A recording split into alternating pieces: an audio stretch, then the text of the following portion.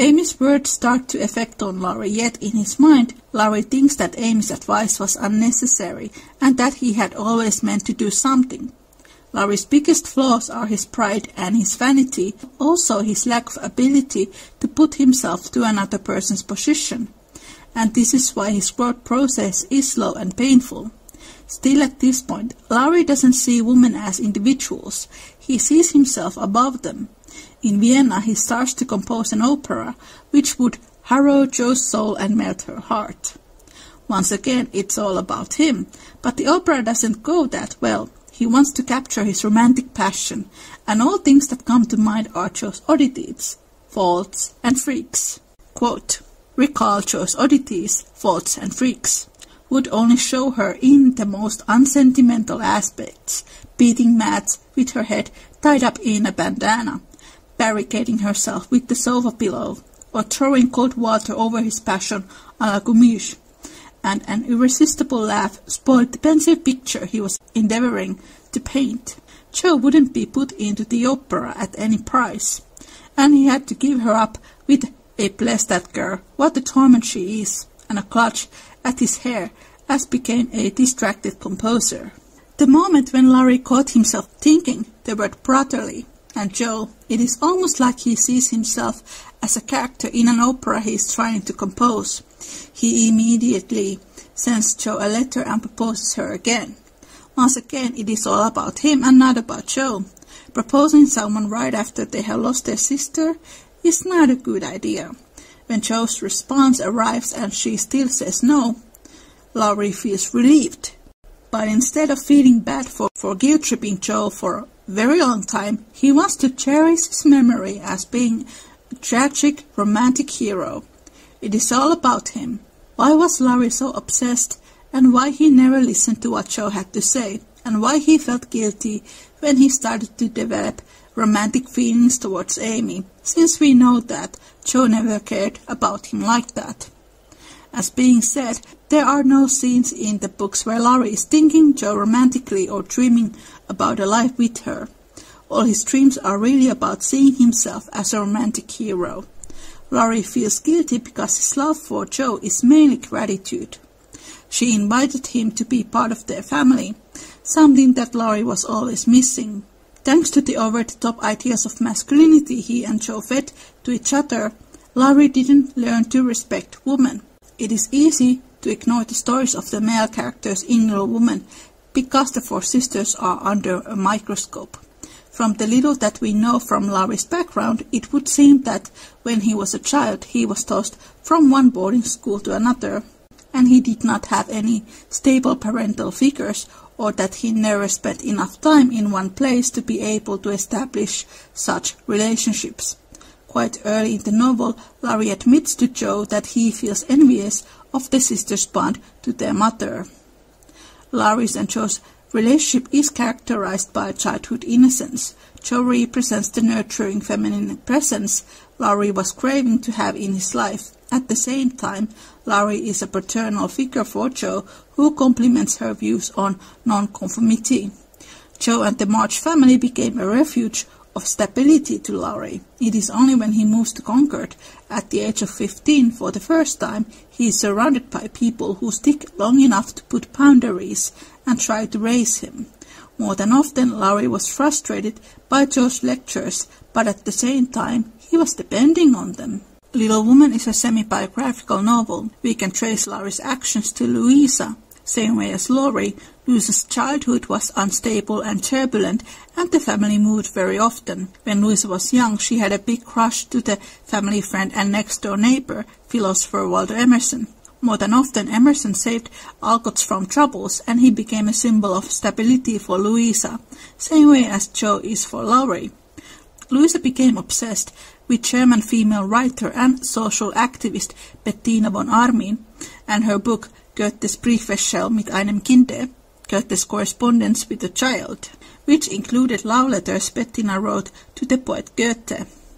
Bettina represents herself as a lover, a role that is traditionally seen as more masculine. Bettina was in love with the idea of love, love as an emotion, not as a love relation. In her letters, she does not ask his opinions or share ideas with him. And this is something that Louisa has written.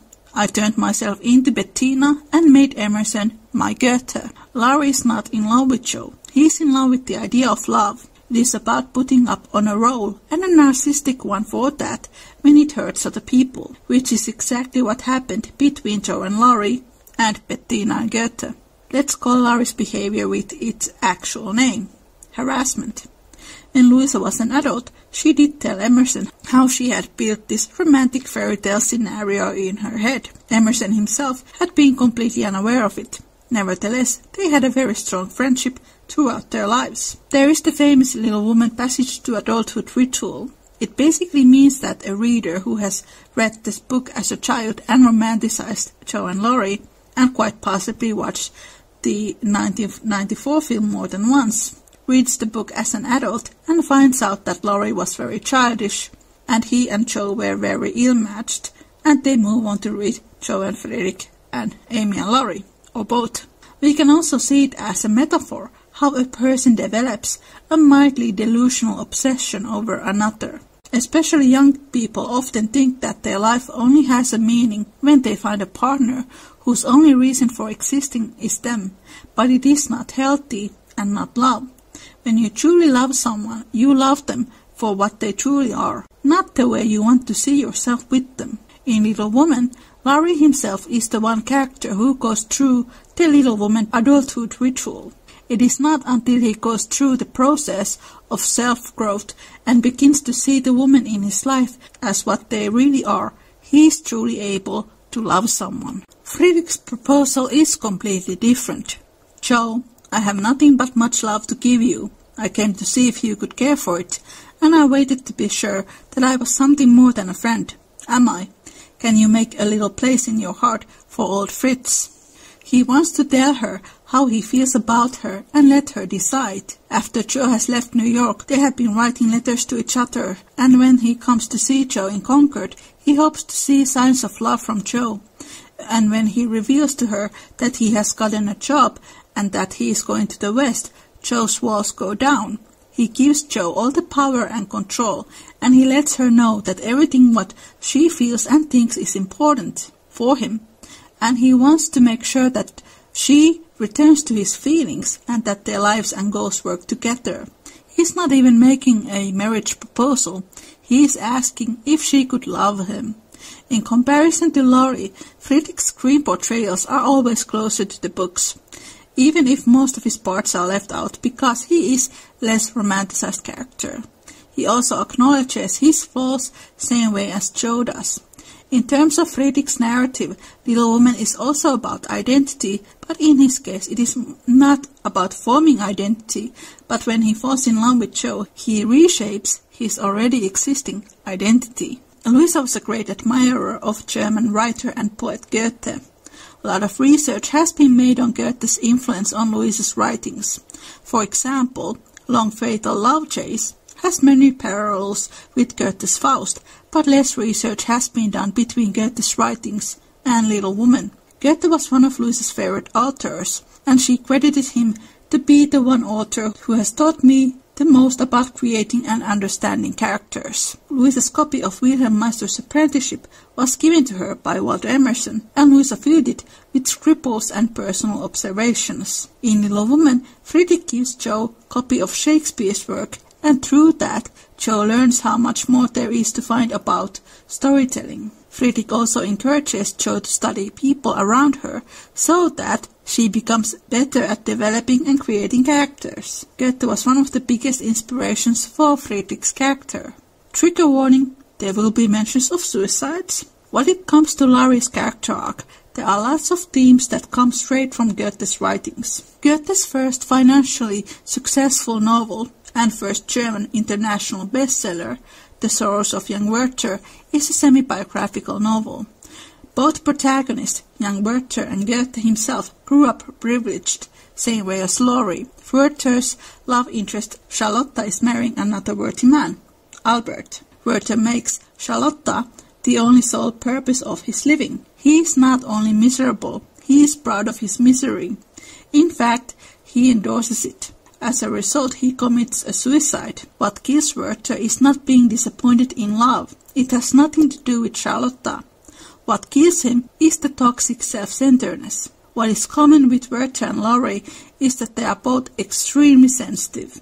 Same way as Little Woman, the sorrows of young Werther has often been misread. Some readers endorsed and glamorized Werther's suicide, and when the book became vastly popular, it started a wave of suicides of young people in Germany who tried to emulate the tragic end of their romantic hero. It's a quote from Ednah Cheney's Louisa May Alcott biography. The children took a special interest in the love story, and when Paul Laurie was so obstinately refused by Jo, they wept aloud and refused to be comforted, and in some instances were actually made ill by grief and excitement. References to Goethe continue in Laurie's proposal. After being rejected, Laurie threatens to take his life and puts enormous pressure on Jo, Same way as the sorrows of young Werther, a great deal of Little Woman fans, especially younger ones, find these worrying threats passionate and romantic. Goethe's book was widely misunderstood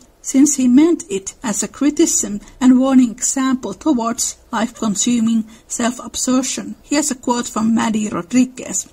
Laurie isn't a good guy, he's a nice guy. When I reread the novel in my early 20s, I still technically thought Jo should have ended up with Laurie, but I started to feel uncomfortable about feeling that way. Wasn't it weird? I thought to feel that way when the character of Jo so explicitly rejected his proposal. Wasn't it a bit like telling a dear friend she should date someone she wasn't crazy about just because he had feelings for her and is such, quote, a good guy? I dismissed this though because A death of the author, non-canonical parents are okay, etc. And B, I have a moderate grasp on reality, and I do recognize Jo is a fictional character, not my friend. But rereading Little Woman this month, I realized with mounting alarm that as a potential romantic partner for Jo, Laurie isn't a good guy. He is, in fact, a nice guy. The story of Laurie and Jo is not, as I had previously remembered, one of Jo seeming like she loves Laurie and making an out of a left field decision. It is very much in the field. Jo consistently indicates that she does not have feelings for Laurie, does not want him to flirt with her, and tries to prevent him from doing so every time he flirts with her, and he ignores her again and again. But wait, there's more. When Jo realizes that her very consistent attempts to communicate her disinterest are not working, she decides to move to New York for adventure and also get away from Laurie. There may be some who would accuse me of selective reading. After all, Laurie isn't a terrible person, to which I say yes. But all of this can be true, and Laurie simultaneously still be a terrible potential partner for Jo. What I realized rereading Little Woman as a grown-ass adult is this. Making Jo and Laurie perfect for each other wouldn't just require a different ending, it would require an entirely different book. So it's been over 20 years in the making, but better late than never. Louisa May Alcott, I'm sorry, you were right. Thank you for listening. To listen the full episode, Why Jo Rejected Laurie, link can be found from the description. You can listen Little Woman podcast on Spotify, iHeartRadio, and other major podcast platforms. Take care and make good choices. Bye.